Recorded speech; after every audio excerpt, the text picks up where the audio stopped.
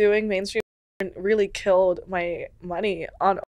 You could always Google my, but those things were always leaks. Now it's like you could Google like an HD of mine. The traffic that comes directly to my sites are people who just really fuck with me as a person and like mm-hmm. really want to directly support me, the artist. Honestly, I could get just as much exposure doing a podcast like this. I've gotten a lot more fans directly from your podcast than I have from like a Brazzers scene, actually. Brazzers, did you hear that?